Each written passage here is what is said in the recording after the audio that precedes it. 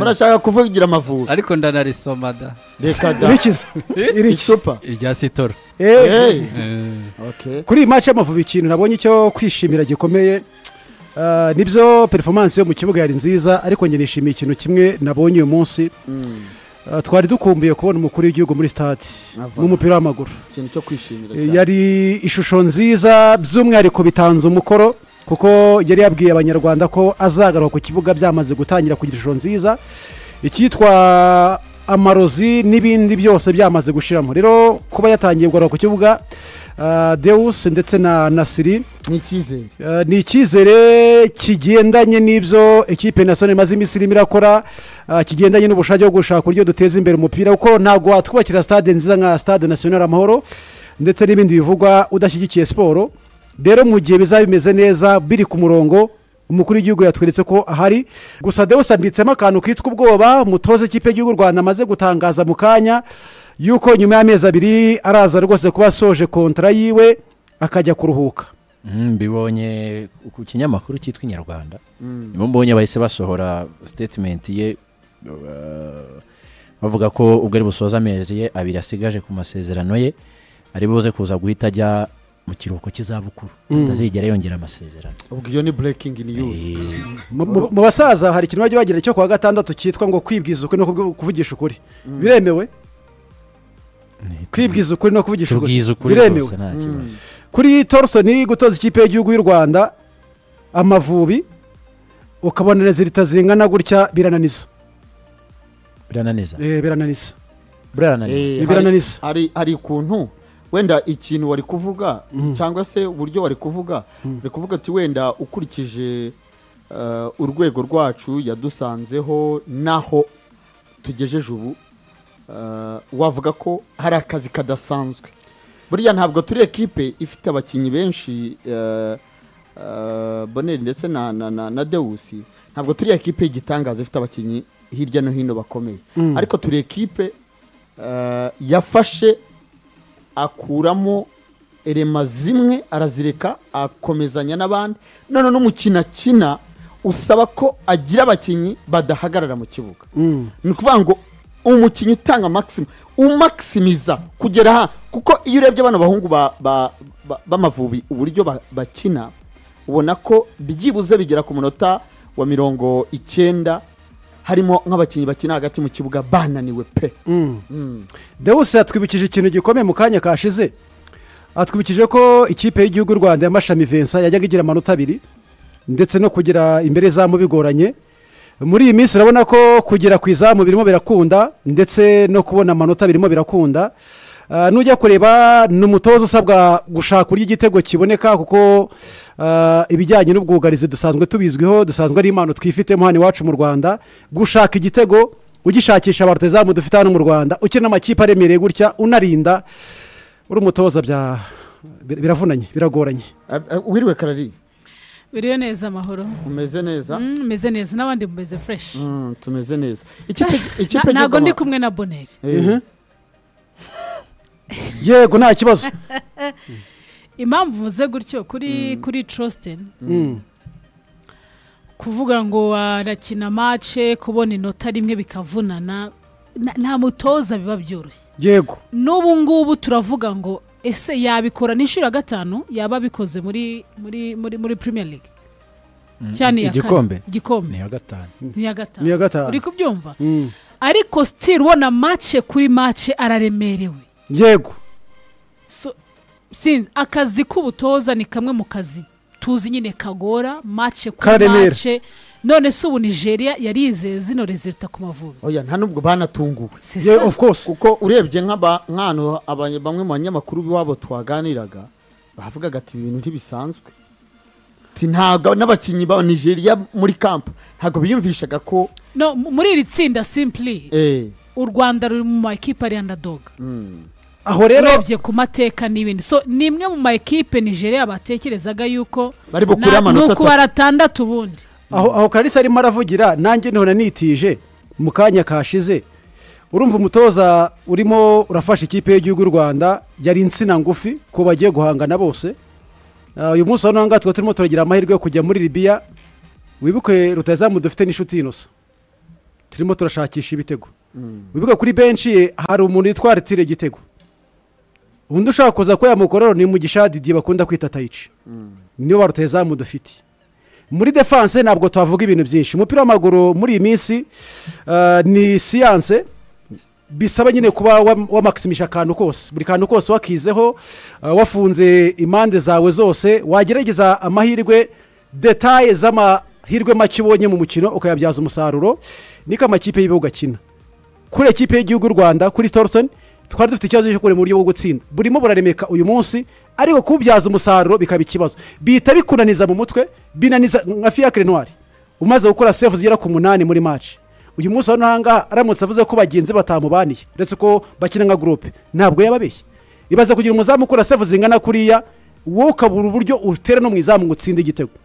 Bisaba rero umutoza gukomeza gushaka uburyo takitike ugomba kuba uri mwiza ukavunika ugakoresha ubwenge ndetse n'ubundi buryo bwose n'iki navanamo nshuti inosa ah, n'iki navanamo runaka kugira ngo mbashe kubona rezilita ni ibiraho ku mutoza gutoza ikipe y'igihugu rwanda by'umwihariko ukageza kuri kano gasongero ukaba umaze mace eshanu mu bibara ufite rezilita nziza ni umutoza urimo urakora akazi keza ko gushimirwa akazi sofa ni keza. Akazi sofa ni keza i- ibyo yatangaje kuvuga ngo agiye kuruhuka ku myaka mirongo itandatu n'ibiri ntabwo ari we mutoza mu by'ukuri ukuze.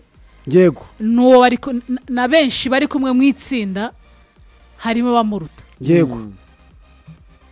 Ahubwo nge sinzi karidinari ko mbibona hari ikindi kibazo trositeni sipitira furank atabwa itangazamakuru cyaba gitera. Kuko tunarebe ni no kuza kwe. Mm. agirwa umutoza w'ikipe nasiyonari ntabwo byavugagaho rumwe oya mu batarabyemeraga nanjye nari ndimo. Kuko ndibuka Nanjye hoteli bikurikije muhanda n'amateka nanjye Eh, nta rwose nta twa- twese twaratungwa abantu twari turi muri sare icyo gihe eh, perezida wa federasiyo amutangaza nk'umutoza mushya ko hari amazina yandi manini yari yagiye abanza ku- ku- kuvugwa ko ari we ushobora kuza kujyamo. Hanyuma nyuma uh, kumva ko haje umutoza frank trositen buri muntu wese yabaye shoke aribaza se biraza kugenda gute avuye he? Twari turi ku ruhe rwego twari dukeneye umutoza umeze gute? Ariko ibyo ukabivuga kuko nyine nta handi hantu bizi n'uwo abantu bavugiraga ni uko hari aho bamuzi Mm. nyuma rero y'ibyo amaze gukora imikino ndumva ari nk'itandatu eh, eh, amaze gukina ifatika Mm.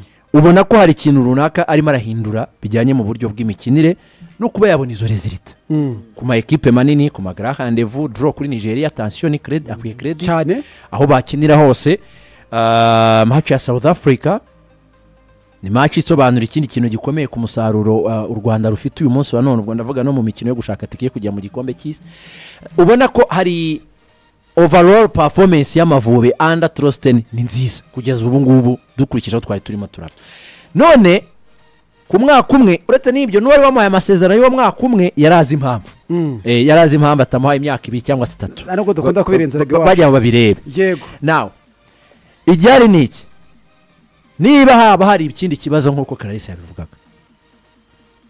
Aho kugira ngo ujye gu- gu- gu- gushaka undi mutoza mushya uri buze kuza gushyiramo ibintu bishya urwego yaba ariho urwo ari rwo rwose mu gihe uyu nguyu yaba agiye bitarapfa yerekana ko hari ahantu runaka ushobora kuba wagera byaba byiza umuganirije ukumva kondisiyo runaka. kuko hari igihe aba- aba- abakozi bajya babikora cyane ku bakoresha.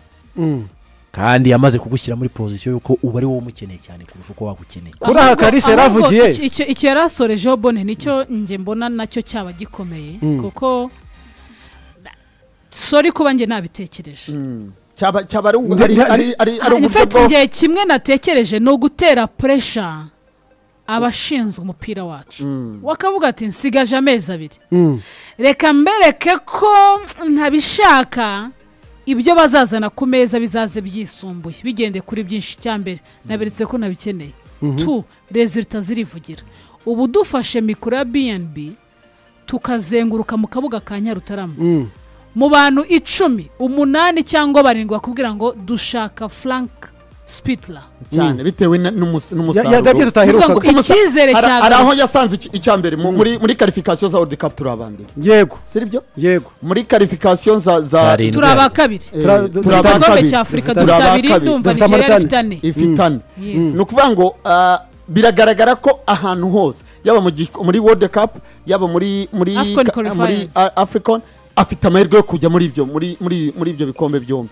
So kwicara akavuga ngo kwicara akavuga ngo ngo nyuma y'amezi abiri nsoza amasezerano ngo nzajya mu ki- mu kiruhuko cy'izabukuru. Tansiyo ibyo karayisi avuga ni byo ntabwo yavuze ngo nzasezera njya ahandi kuko amasezerano yanjye azaba arangiye. Nzajya mu zabukuru. Ntabwo yavuze ko azajya ahandi azajya mu zabukuru ku buryo mushobora no kumwegera mukamubwira ati "Wa- waretse byibuze undi mwaka akaba ari bwo uzajya mu- mu zabukuru ukatwongera byibuze undi mwaka umwe. Azakubwira ati "Okay, ngiye kwigomwa kuzajya mu zabukuru. Wowe n'iki- we n'iki washyize ku meza? Eh, cyerekana ko kuko ubu ari muri pozisiyo Yo- yo- y'uko agomba guhabwa ibyo akeneye. Exactly. Ni- So, ni cyo ako navugaga ni wowe akantu umukeneye k'agapureshe kumurusha yazamuye kugira ngo ubu tuvugana. Tansiyo boneri yabitangiriyeho. Umukuru w'igihugu cy'u rwanda yongeye kwereka abanyarwanda yuko ambaka muri football. Ni match ya mbere. Na- na- nashyize ako kabazo kuri twitter yanjye sinageze ndeba ibisubizo. Umukuru w'igihugu cy'u rwanda yerekwaga ku kibuga aje kurema ikipe y'igihugu ryari? Nanjye simbyibuka hari undi ubyibuka haraciyeho iminsi. Icyo nshaka kuvuga ni iki? Ni nzi. Ni uko urumva nk'umuntu w'umupro ayo makuru yose arayafite. Kandi azi yuko turi tayari gutanga byose kugira ngo dushimishe abanyarwanda. At the same time n'umukuru w'igihugu wagarutse abone resulta nzima. Nawe njye ndabona ari akantu ya- yakubise Nge- nge- ngewe ngo- ndongera ikindi kintu nshingiye handi nahereye. Byitwa kuvunika. Kuvunika of course muri mu kazi agomba kuvunika. bone ntagaruka. None se utwe ntabwo tuvunika? Reka ba- banza unyumve icyo nshaka kandi kuvuga. aba yahembwe reka banza unyumve icyo nshaka kuvuga. Uyu mugabo yagaragaje ko atishimiye ibyo afite mu busatirizi bwe. Arangije agerageza kwa approaching umuntu witwa ani erija akoresha imbaraga zose zishoboka federasiyo aragenda igarakavaringa itangazamakuru yagerageza gushaka uburyo ryamenya amakuru rimwe na rimwe bakaduhisha n'ibiki byose aza mu myitozo barajyana biza kurangira avuye muri kampu ni ikigaragaza ko arimo arabwira abantu ngo nyeneye nyeneye umuntu wamfasha gutsinda ibitego. Gurupe yanjye nayibonye gurupe yanjye ibyirimo irama ndimo ndabibona ariko nyeneye muraza kuza kumfasha kubona fire natanze igitekerezo cyanjye nyeneye rutayizamu mukoresha uburyo bwose bushoboka tubone umuntu baza kudufasha kuza gutsinda igitego. Ni cyo cyabaye ku mutoza. Uyu munsi nangare afite impamvu niba uri umutoza ukaba uzi ko urimo urabona rezita zimeze gutya.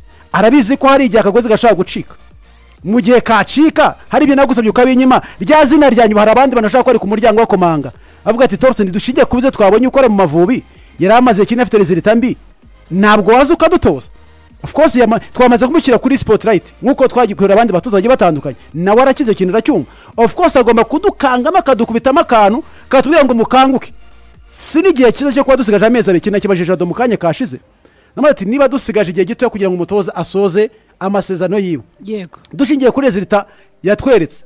Ntabwo byagakwiye ko ishyirahamwe ry'umupira w'amaguru mu rwanda ndetse na minisiteri ya siporo bakwegera umutoza hakiri kare? Abitweretse rero nyuma ya make muri press conference abwira abantu ati nyuma y'amezi abiri ngiye kuruhuka.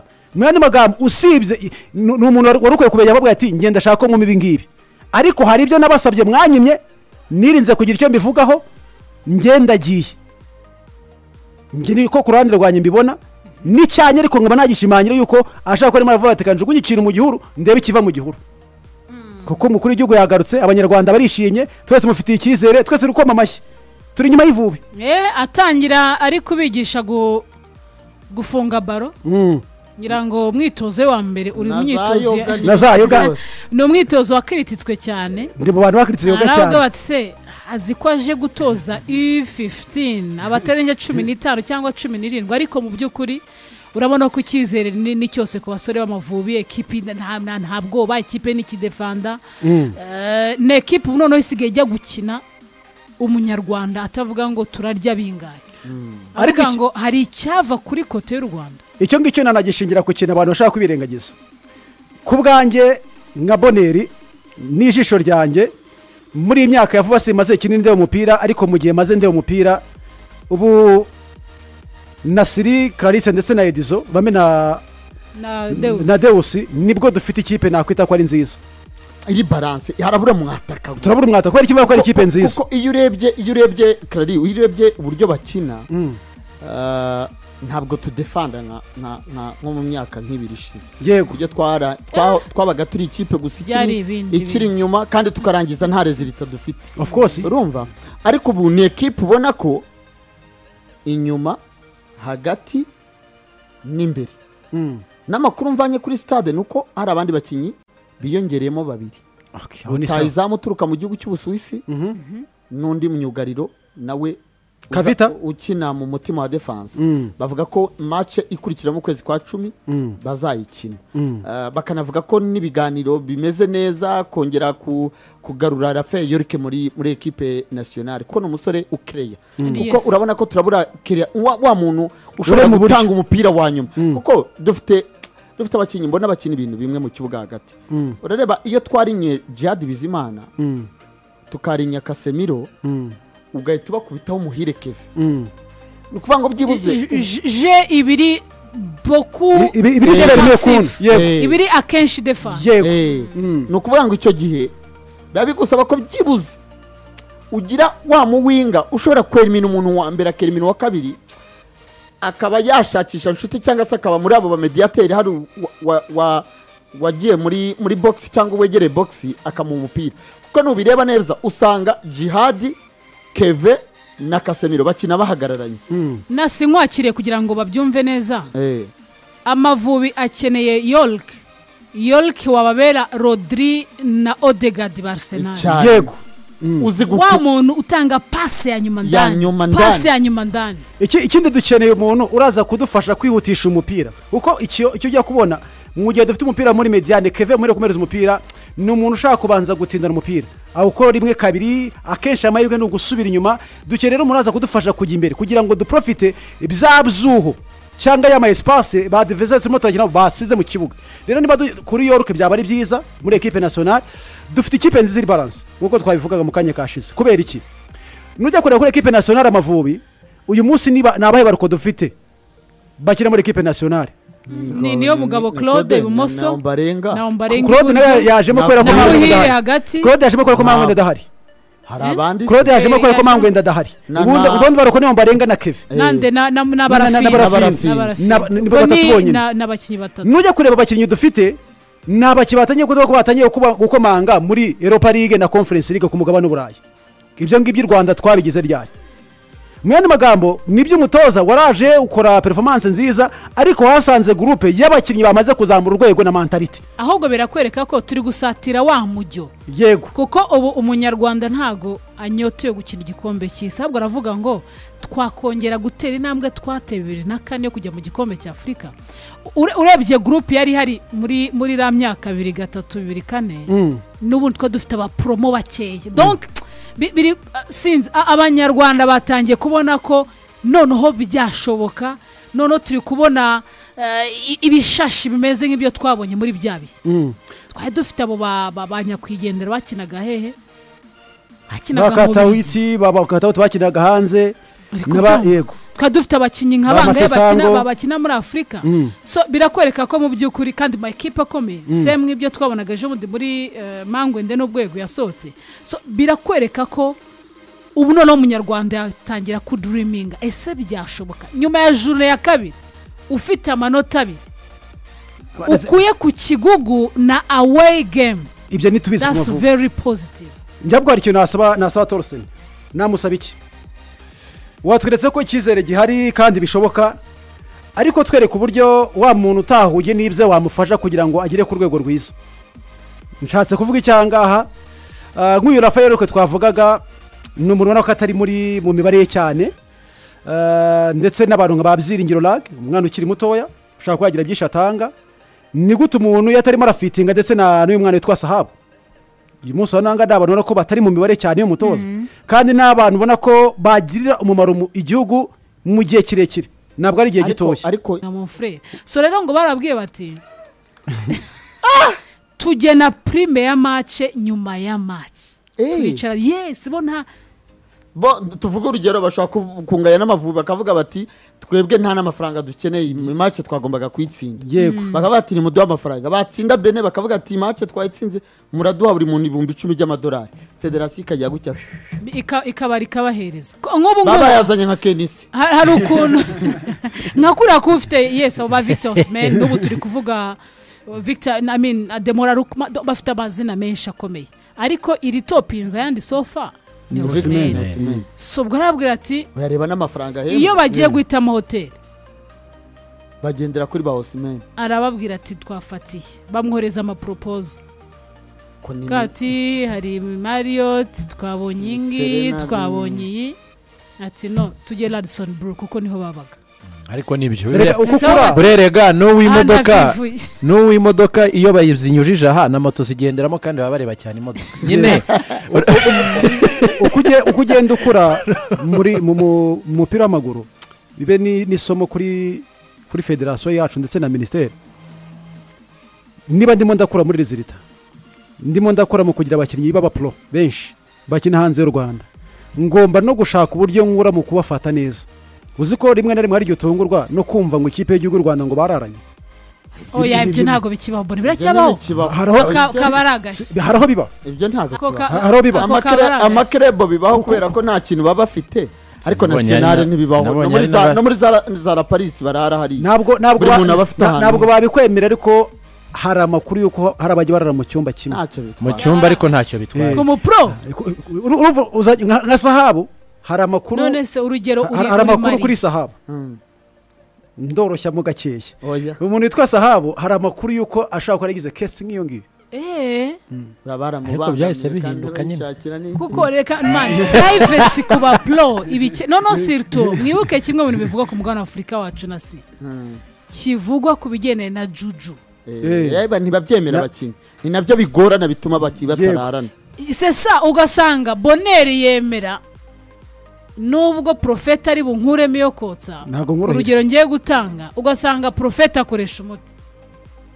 Ugasanga kumu- kumurazana na siri na siri wenda ibyo kuko hari amakipe aba azi n'abakinnyi babigenderamo. Wamushyira kuri na siri wenda udakoresha uwo muti ugasanga hari ukuntu hari bitameze umuntu neza. wigeze kumbwira ati dadi birori ya- yatangiraga kampu akayisoza atarakaraba kubera ko ariho byari biri niko cyangwa kubera ko niko atabishaka babaga ngo bamutegetse bishaka bishaka ko adakora ko Ningira adashaka bira- gukaraba. biravugwa. Yego. Ariko ntiwabihamya ijana ku ijana. Yego. Ya. Ngibyo ngukorera reka twinjire muri arsenal.